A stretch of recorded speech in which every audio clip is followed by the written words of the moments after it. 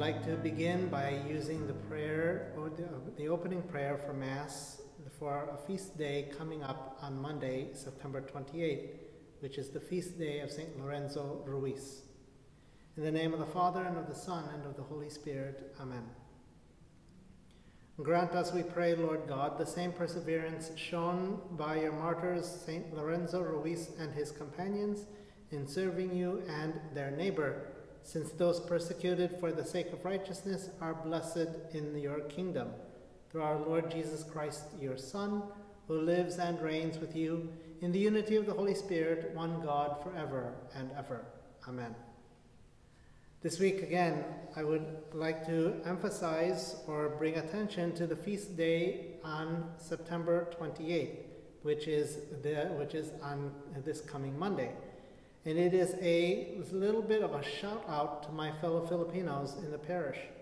Because on Monday, September 28th, the church will celebrate the feast of St. Lorenzo, Lorenzo Ruiz, who is the first Filipino to, have, to ever be numbered among the list of saints in our Catholic Church. His story has become an inspiration. Born in 1600 in, the, in a suburb of Manila, Lorenzo Ruiz was the son of a Chinese father and a Filipino mother.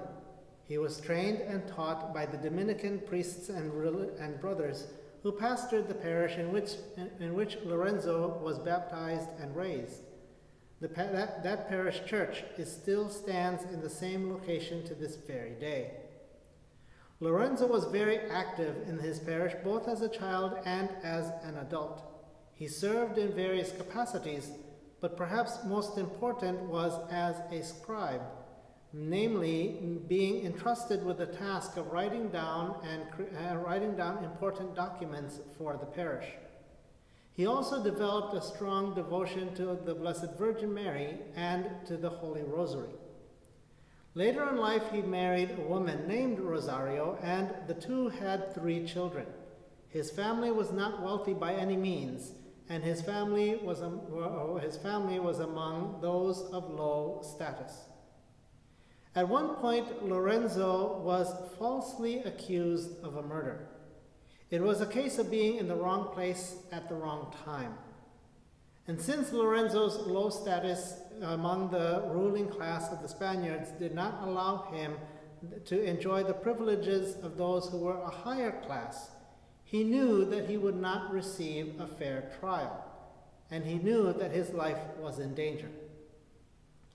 Assisted by the Dominican priests who, whom he had befriended, Lorenzo managed to um, Lorenzo managed to stow away on a missionary expedition.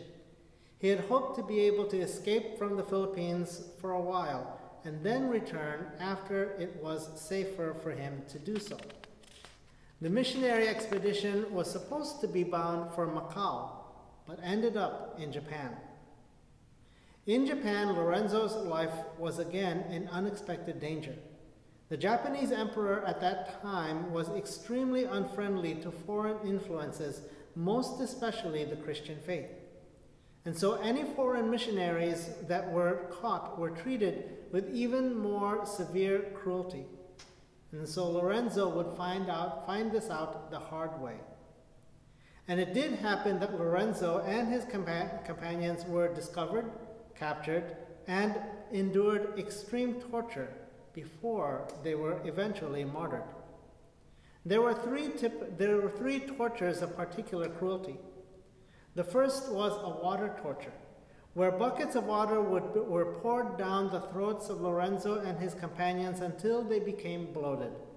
And then the Japanese soldiers would jump on top of the wooden planks that were placed across their stomachs, which would violently push out the water from their bodies. Another torture involved long, thin needles that were inserted, uh, inserted in each finger right underneath the fingernails, running the length of the entire finger and extending beyond the edge. These needles were kept in place for long periods of time, and of course, their hand, the hands of Lorenzo and his companions would be immobilized to prevent them from removing the needles before the end of the torture period. The final torture Lorenzo and his companions were made to endure involved being fully bound and suspended upside down, with the upper half of their bodies completely buried in the ground. To add to the pain, the temples of their head were cut, uh, were cut to increase the pain as the blood rushed to their heads. Throughout these tortures, the emperor gave Lorenzo and his companions the option either to deny their faith and save their lives or be killed. At one point, Lorenzo reached a point of weakness and was almost ready to give up, to, to give up his faith and give in to the emperor. But as he entertained that thought, he looked at one of his companions and who had denied his faith, and Lorenzo noticed that there was still a, still a look of extreme anguish. But as Lorenzo looked at another companion who had not given up the faith, he noticed a look of peace and joy, even in the midst of such cruel suffering. That was enough for Lorenzo to, uh, to receive the strength he needed. And so when he stood before the emperor with one final chance to save his life, Lorenzo uttered the words for which he won the martyr's crown. He boldly told the emperor, I am a Catholic and will gladly die for my God if that is his wish. Had I a thousand lives, I would gladly give all of them up for God. Do with me as you please. With that, the order was given for Lorenzo to be uh, for Lorenzo and his companions to be to be killed. Their bodies were then bear, burned and their ashes scattered so that, they, so that they could not be venerated by other Christians. I share this story of St. Lorenzo Ruiz, obviously because he, he like myself, is a, is a fellow Filipino. But I, uh, but I also, again, share this story on behalf of, uh, of, our, of our Filipino parishioners here at St. Julie's. And I'm doing so standing in front of the, uh, of the parish's icon of this great saint, which you can see behind me. This icon is enshrined in our Sacred Heart Chapel and was a gift from a Filipino parishioner. This icon also represents how St. Julie's and I were connected years before I even thought of becoming the pastor of our parish. About six years ago, Bishop Lu had reached out to me to see if I knew anyone who might be able to write an icon of St. Lorenzo Ruiz. He told me that a Filipino parishioner wanted to donate an image and an icon was the agreed style. Luckily, I did know of someone who was able to write the icon in the Eastern Orthodox style, which is again now this one in our chapel. It is the first ever icon of St. Lorenzo Ruiz, Actually, it is the second one because the smaller version I, I had made for myself. And the smaller version became the prototype that the, uh, that, the, that the iconographer used to write this larger icon. And since Lorenzo Ruiz, there is now a second Filipino saint named Saint Pedro Calungsod, who was a teenager, teenager and a catechist who was martyred in Guam. I take this opportunity as well to share with the parish that the same donor who, don- who commissioned this large icon of St. Lorenzo Ruiz now desires to have a second icon, and, uh, but this time the icon of St. Pedro Calungsod, so that it would, so that it, it would eventually be, be able to be enshrined next to St. Lorenzo. And so I, so I contacted the same priest who, who wrote this icon, and he has agreed to the commission. And so eventually we will have a second icon, an icon again of the second Filipino saint, Saint Pedro Calungsod. It will take a while because the process of writing an icon is not, is not like any other piece of work, piece of art. But both saints, of course, will inspire us to pray well and to con- and continue to teach the faith, to give witness to our faith, no matter whether we are Filipino or not, we are still called to give witness to our faith. And so may, there, may the example and life of St. Lorenzo Ruiz, and eventually as, uh, uh, when we welcome the image of St. Pedro Calungsod, may both of their lives again inspire us to give witness to our faith no matter what. For everyone's information, I just first of all would like to thank everyone who helped to make the installation mass last weekend a great celebration. From the Donut, Donut Sunday group to our music ministers to our altar servers to everyone who was involved. Again, please accept my deepest gratitude for making it truly a parish event. I know it was a little bit different because of the pandemic, but, it, but we were still able to join together and celebrate that moment. RCIA has begun.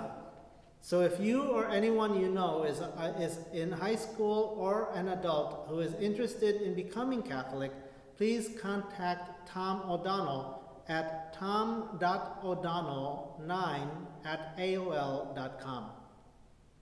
Our faith formation program for youth will officially start next week.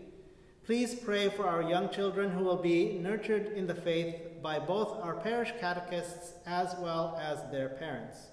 For more information, please contact our Faith Formation Office. On Tuesday, September 29th, we will have a special memorial Mass for those parishioners who lost a loved one during the period of the pandemic when the parish was closed as a result of the pandemic. And so, as a result, these families were unable to have a funeral mass here at the parish for their deceased loved one. We wanted to give special priority to those families, but we should still have room for anyone else who might want to join. So please contact Marianne Mueller or our coordinator of prayer life if you would like to be included.